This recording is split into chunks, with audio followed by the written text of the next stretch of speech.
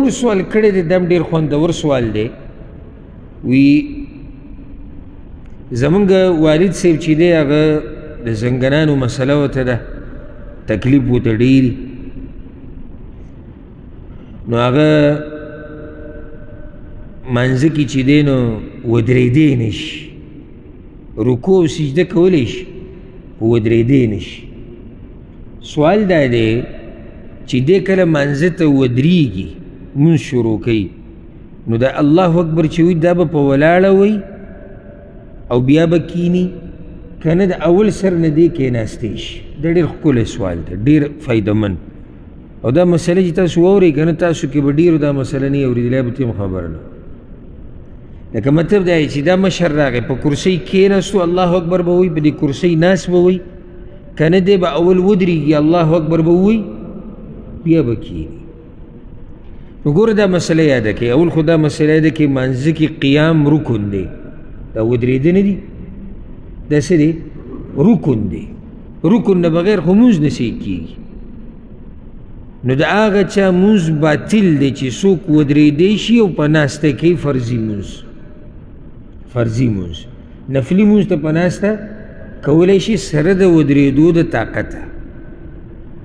خو چې د ودرېدو طاقت تی او فرضي مونځ کې کېناستې نو تا رکن ادا نه کو چې رکن دی ادا نه کو نو مونځ دی مونځ دی ورشو ها اوس راځو دی یو قاعدې او قانون له ځان سره یاده کوي ډېرې مسلې به ته حل شي خصوصا د بیمارانو دپاره او د کمزورو د بوډاګانو دپاره عقایده دا ده د شریعت چې د مانځه چې څومره واجبات او ارکان دي د وس مطابق به هغه کې کم چې د وس نه بهر دي هغه تانه ساقط شو نو اوس موږ دې ورور ته دا وایو که چېرته ستاسو والد صاحب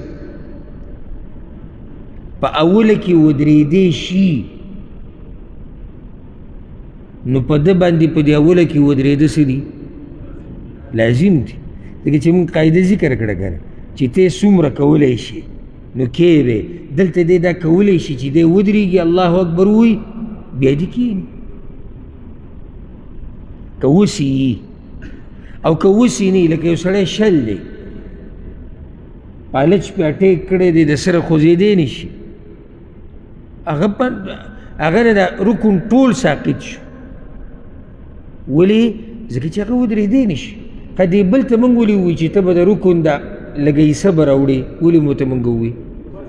ځکه چې وسیشتي او ما په خپل سترګو دي څه خلک لیدلی تاسو هم لیدلی یې پوه کوئ یې نن دا مسله تاسو واورېده ما لیدلی یې داسې چې دا مشران بعض پکې ما لیدلي یا بیماران چې څه مشکل دی ورته هغه چې څنګه راشي ډایرکټ په دې کرسۍ کینې او الله اکبر وایي که جمعه ته دی راغی ښه را روان دی ولې لکه ته کېناسته الله یاره زه ودرېدی نه شم نو دا تکبیر تحریمه خو تا د قیام په حالت کې ویلی شوه که نه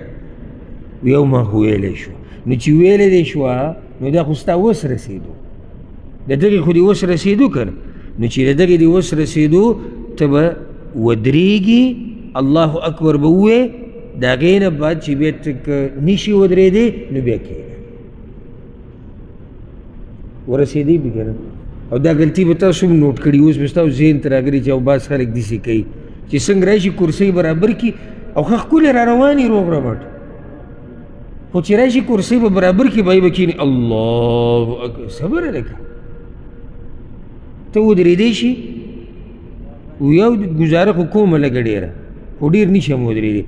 دا تکبیر پکې ویلی شي او دا ویلی شي بس تکبیر ووایه ځکه دا تکبیر تحریمه دا د ودرېدو په حالت کې ویلی کېږي دا مرکون دی او دا ودرېده مرکون دی بیا د هغې نه به تا ته تکلیف دی نو څه چل وکړه بیا کښېنه او زما تاسو ته دا نصیحت دی چې خصوصا دغه کسان چې په کورسو باندې مونځونه کوي د دې مسلې ورته وضاحت وکړي که چېرته تاسو وینئ هغوی په دې غلطۍ باندې دګي دا وړه خبره نه ده ګورئ د دې سره موږ باطلیږي چې څوک قصدن عمدن کوي ځکه چې د قصدن رکن پرې خو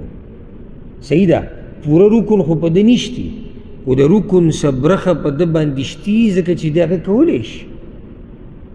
دا مسله ده کې بل یو خبرې ته که ستاسو خیال تللی